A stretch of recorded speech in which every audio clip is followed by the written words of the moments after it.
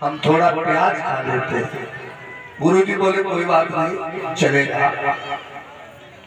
प्याज खेत में पैदा होता है, थोड़ा तामस प्रवृत्ति का होता है, इसलिए अच्छे विद्वान, अच्छे ब्राह्मण, अच्छे संत उसे नहीं देते हैं। बना लेंगे शिष्य। चेहरा बोला जी, रोज थोड़ी खाते कभी कभी खा लेते हैं। देखो, रोज आप काम करो। भरखा निवासी उसमें इतना अनुभव नहीं है कभी कभी में बहुत बड़ा दोष है। तो गुरु जी बोल, चेला बोला गुरु जी रोज नहीं कभी कभी बोले, कब? बोले, जब कहो पी पिया ही नहीं हो।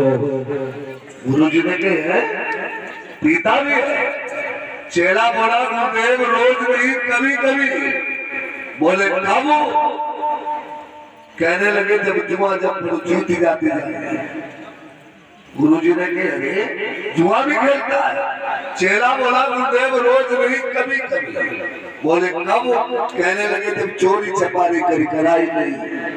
अब भला बताओ एक छोटे से प्याज में कितने बड़े अभिनव छिपे पड़े हैं। गुरु जी बोले, ये तो सब नहीं कर पाएगा। लेकिन गुरु शांतिपन, महाकाल भगवान की दिव्य उपासक ब्राह्मण देवता। जिनकी पाठशाला में स्वयं त्रिलोकीनाथ भगवान कृष्ण शिक्षा अध्ययन कर रहे हैं। सुदामा ब्राह्मण भी आया, दोनों की परम मित्रता हो मित्रता कोई इतना छोटा रिश्ता नहीं होता है। परीक्षित महाराज, जब जी ने चाहा तो मित्र बना लिया, जब जी ने नहीं चाहा तो मित्र से कोई मतलब नहीं वो स्वामी जी ने रामचरित मानस में कहा ओ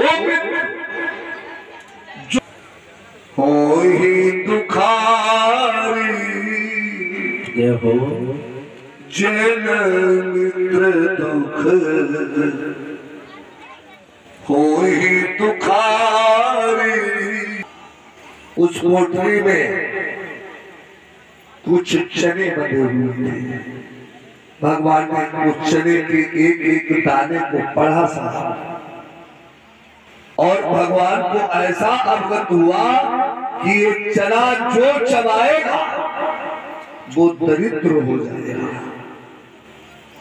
तो भगवान ने वो चला जो की तो बात गुरु माता को दे दी। एक दिन घर में ईंधन नहीं रहा तो गुरु शांतिपर महाराज की अर्धांगिनी माने कन्हैया की गुरु माता ने भगवान कृष्ण को बोला, कान्हा, घर में ईंधन नहीं है। गुरुदेव का एक कार्य बाधित है। भोजन कार्य बाधित है। भगवान बोले, चिंता नहीं करो माता, मैं जंगल जाकर बहुत सारी सुविधाएँ तोड़ कर लाऊँगा। ये चल गए सुदामा बोले, भैया, मुझे भी लिए चलो। तो सुदामा ब्राह्मण भी चल गया? गुरु माता ने बुलाया, सुदामा, लौट कर आओ। तो लौट कर आए तो गुरु माता ने वही चने जो कन्हैया ने गुरु माता को दिए थे, जिसके एक एक दाने पर महान का दिव्य भाव लिखा हुआ था। इन चनों को जो चलाएगा, वो दरिद्र हो जाएगा, गरीब हो जाएगा। गुरु माता ने उनको चने की दिया सुदामा ब्राह्मण को दे दी और कहा, लो महाराज, जब तुम दोनों को भूख लग जाए तो मिलजुल कर चला लो।